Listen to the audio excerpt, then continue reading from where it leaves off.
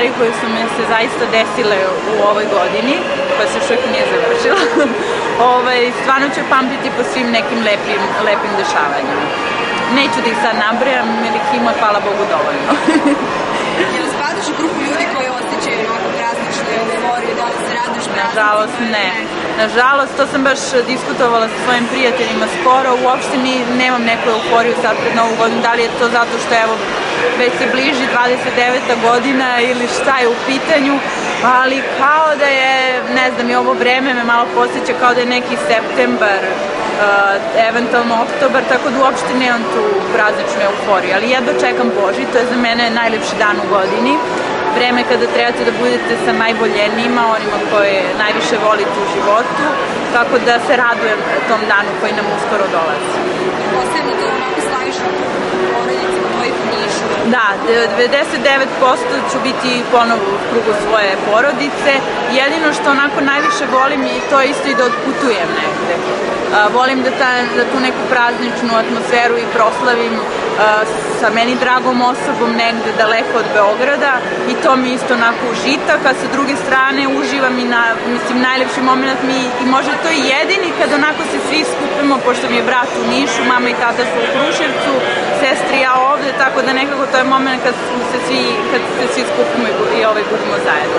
I ono što je interesantno, uh, pamtit ću je po tome što mi dolazi treći bratanac na putu, ovaj, tako da uskoro ću postati tetka po treći put i eto, presrećni smo. Pa čestitam. Hvala. Sve onako... Ovaj, Divne vesti, da. Divne vesti.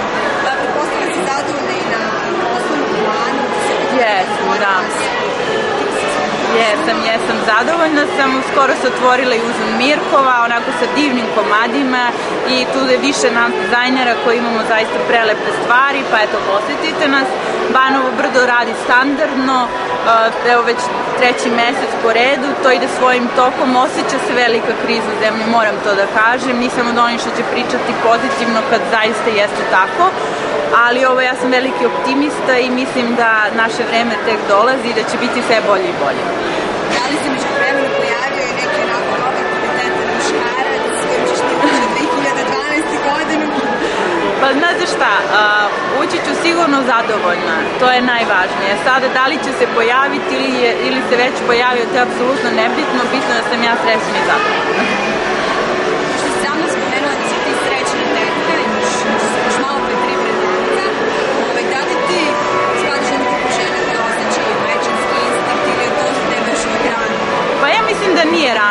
To ili da se desi ili se ne desi, to ne možete da planirate, ali sam jedna od onih osoba koja zaista mnogo voli porodicu i decu i znam da onog momenta kad se budem udala da će to biti za sva vremena i ovaj, čekam da se taj, da kažem, instinkt u meni probudi u smislu da je to ta osoba i da je vredno da ja kažem da, jednom zauvek, mada se to nažalost nikad ne zna, ali sam od onih ljudi koji veruje da je brak zavet i svetinja i da smo mi jedno i da trebamo da budemo tu i u dobru. Mi se potpuno slažemo sa tobom. Ja nešto samo za kraj zavoliti da evo svim posjetiteljima Stolar portala pa i tvojim fanovima čestitaš predstavljač praznik. Pa ja želim da im poručim uh, da veruju u svoje snove, da veruju u svoje ciljeve i da uvek samo gledaju pozitivno, da sve svoje negativne misli zaborave i spakuju ovako u jednu čarobnu kutiju i ostave sa strane zajedno sa ovom 2011. godinom, da uđu spremni i e, oplemenjeni u 2012. Da, da budu zaljubljeni, e, da se raduju svakom momentu, makoliko on trajao i kakva god ta ljubav bila, da ne, da ne očekuju previše, nego da se raduju onom momentu koji imaju i onim što imaju pored sebe, a svim čitaocima storije naravno želim da nastave da kupuju storiji, najbolji magazin, najčitaniji i hvala Bogu te niste prerasli u one tračeve, to vama želim da ostane, to ovako na jednoj umerenoj i smernoj granici.